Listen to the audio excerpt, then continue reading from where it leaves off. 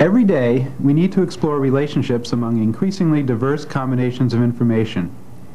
To do this effectively, we need graphics that can visually integrate many types of information, including combinations of quantitative, relational, temporal, hierarchical, geographic, categorical, or other diverse types of data all at one time.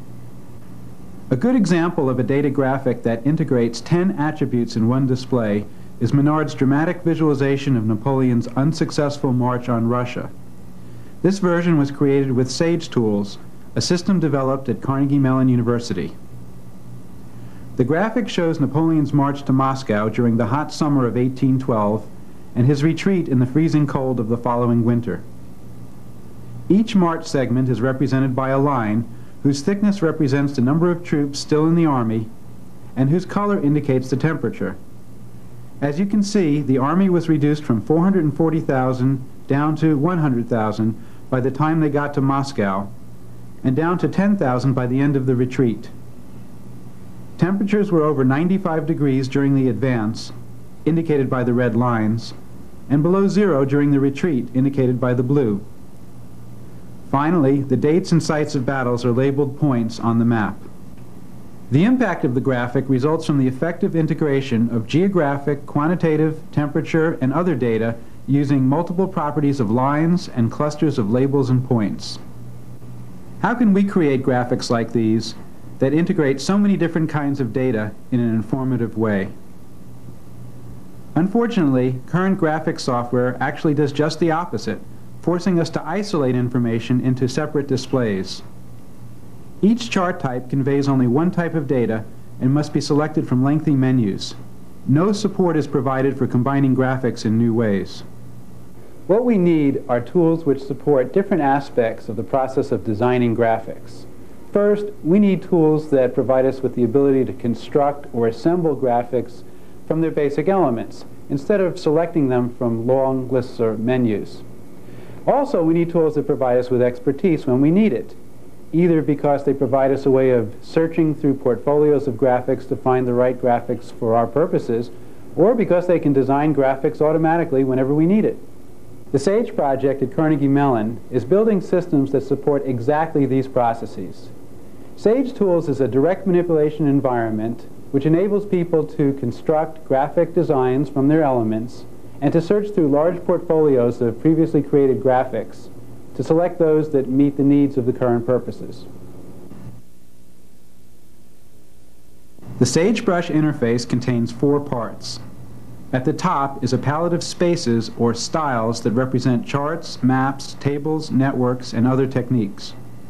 On the left is a palette of points, lines, bars, and other objects that can be placed inside these spaces. The middle workspace is the area where these objects are placed to specify the desired graphic. At the bottom is a list of the data attributes that a user is currently working on. One way to create a graphic is to specify only the data to be displayed and directing Sage to make all the graphic design decisions automatically. In this case, we leave the work area empty, indicating no design preferences. While this graphic was designed automatically, it is also possible for users to specify the entire graphic interactively. Designing the same Napoleon March graphic in SageBrush is a simple process of selecting a map space and a line object. Double-clicking on a graphical object reveals its properties as icons. Dropping data attributes on property icons tells Sage to express the data using the selected property. For example, the temperature attribute of the Napoleon March data is dropped on the color property icon of the line. Further information can be expressed simply by adding additional graphemes or spaces to the picture. We direct Sage to create a graphic based on this sketch. Any data items that are left unassigned are mapped to appropriate properties automatically. When generating a graphic, Sage honors the spatial arrangements like the relative positions of a label in a circle showing the name and location of a battle. It's also simple to use SageBrush to redesign graphics in order to see different perspectives of the data by focusing on different data attributes and choosing different spaces, objects, and properties. For example, it's easy to change the Napoleon graphic to show east-west movements as a function of time on a chart instead of a map. Dates are viewed against the horizontal axis and east-west location on the vertical axis. This perspective visualizes the time course of the march, showing that the troops took much longer to get to Moscow than return. The blank spaces show how long they remained at each location. Finally, notice how this graphic better conveys the progress of the small contingent, which won a battle at the city of Polotsk, stayed there all summer, lost a second battle there, and then joined Napoleon's retreating army in the winter. Finally, Sagebrush can be used to create graphics using multiple coordinated spaces. A second chart space is vertically aligned with the first, and a bar is added to show troop size. Here the magnitude of the troop losses can be emphasized even more in the lower chart. SageBook is a tool for browsing previously created graphics to get ideas for new designs. It's like perusing a portfolio of hundreds of finished graphics to find several that are relevant to your current goals. SageBook makes this easy by automatically retrieving relevant previous graphics based on their appearance and the data they contain. For example, suppose we wanted to find data graphics that contain bars showing intervals. We use SageBrush to partially sketch what we want and initiate a search.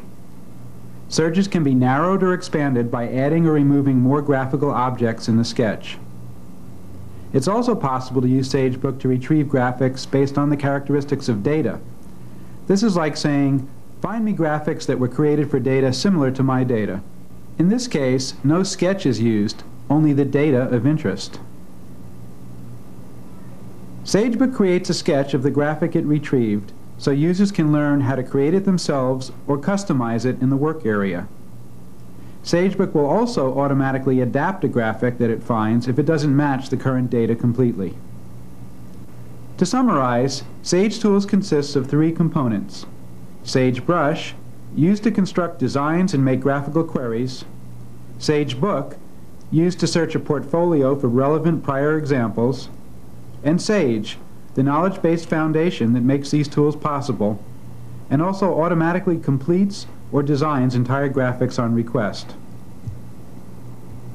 Our current work is extending SAGE so that every graphic becomes an interface for manipulating data.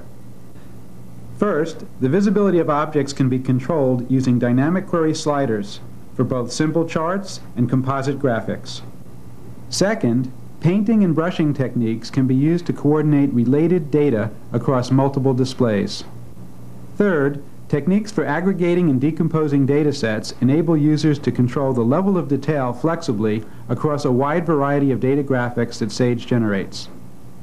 As a result, a useful set of data manipulation operations can be performed with the same interaction techniques across a wide variety of graphics. Finally, we're exploring ways of providing new visualization techniques, including 3D representation and navigation, as well as animation.